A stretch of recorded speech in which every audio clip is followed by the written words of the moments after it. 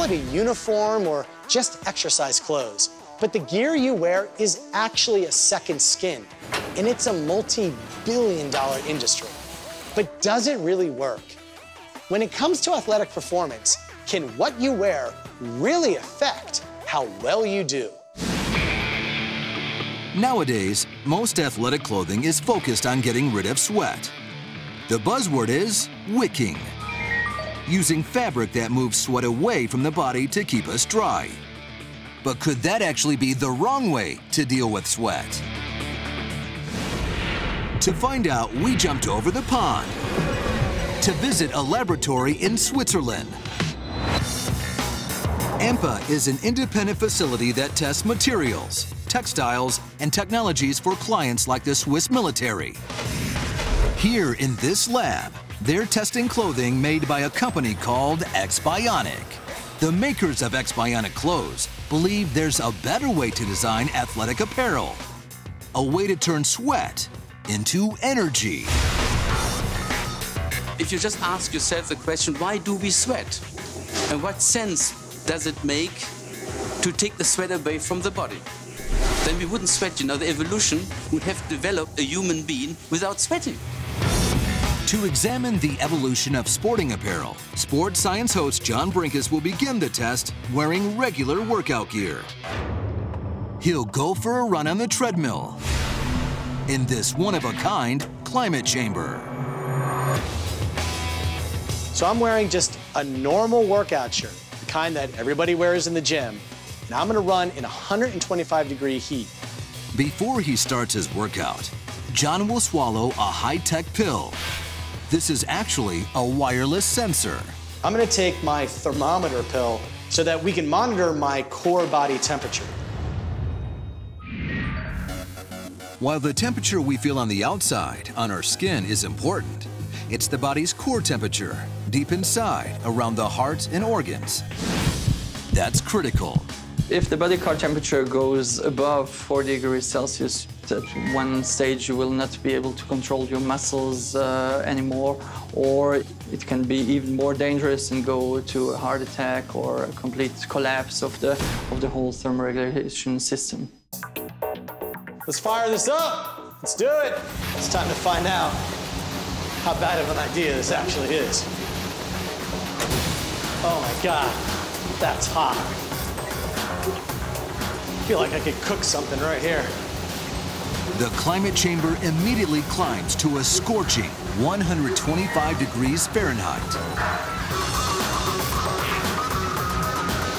It's hot, very hot.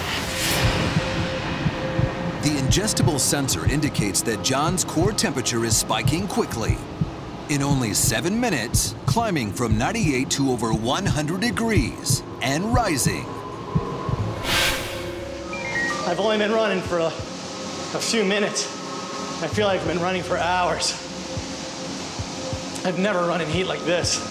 John's clothing is wicking the sweat away from his torso, so it evaporates not on his skin, but on the outside of his shirt. Our thermal imaging camera reveals that it's not helping his body maintain thermal regulation. I'm on minute 12. I don't know how much longer I can make it. John's core temperature is now over 102 degrees. If it climbs above 104 degrees, John could suffer heat stroke, kidney damage, and even brain damage. I don't know how much longer I can go. Oh, I'm really dizzy.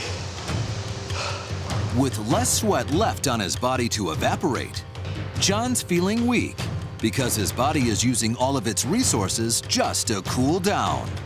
Very simply, our body only can perform with a core temperature of 37 centigrade. And he takes nearly all his energy to keep this regulation. After only 14 minutes on the treadmill, in 125 degree heat, disaster strikes.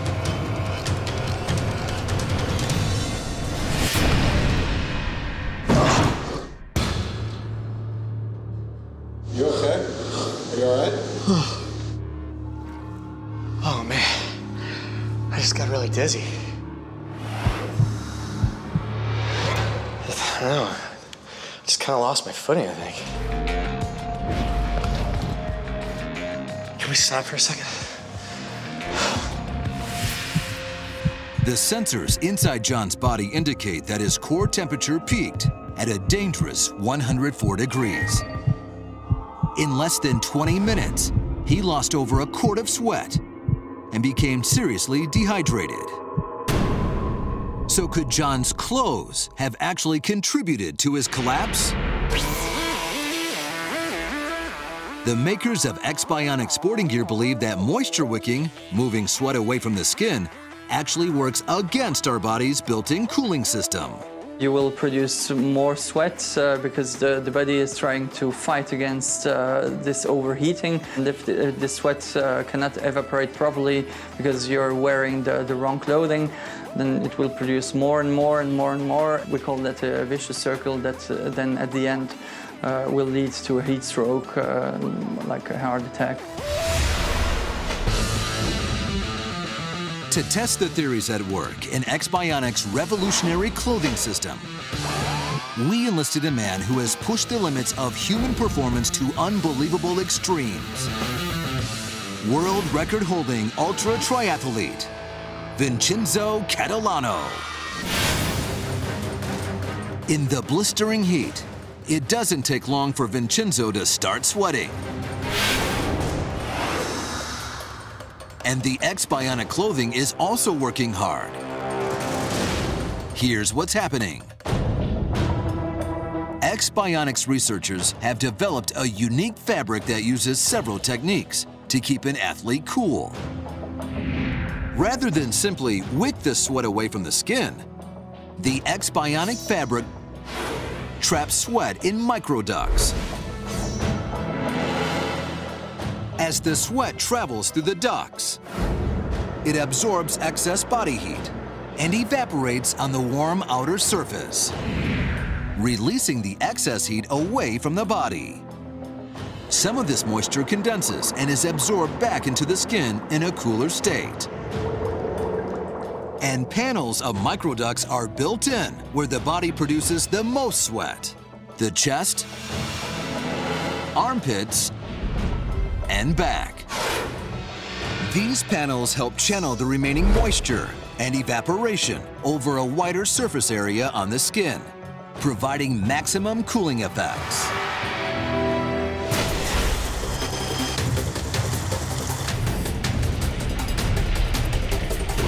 In cold, wet conditions, the same channels that pump warm air away from the body in the blistering heat work like insulation.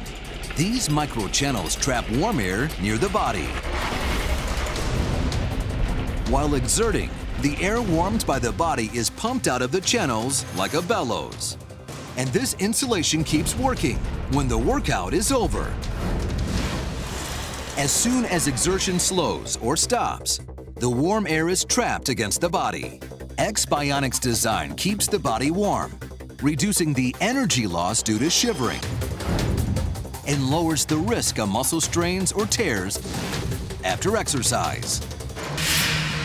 After cooling down and rehydrating, John enters the climate chamber again, but this time he's wearing X-Bionic gear.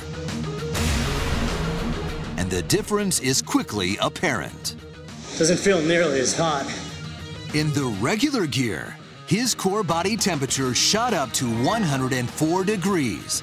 He used over 97% of his energy just trying to keep cool and failed.